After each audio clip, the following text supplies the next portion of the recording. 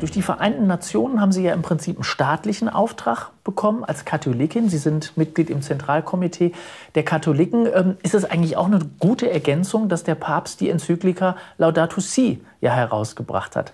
Also insofern kommen ja zwei Entwicklungen wunderbar zusammen mit einem Ziel. Das ist ganz, ganz wunderbar und es geht tatsächlich bei allem um die Bewahrung der Schöpfung wir Christen und Christinnen glauben, ähm, dass der liebe Gott das alles gemacht hat, dass er uns letztendlich ins Leben gesetzt hat, uns Menschen in dieser wunderbaren Umwelt, die großartig ähm, gestaltet ist und die zu bewahren, Verantwortung zu übernehmen für diese Schöpfung, für unsere Kinder und Enkelkinder, das ist tatsächlich unsere große Aufgabe und daran sollten wir gemeinsam arbeiten.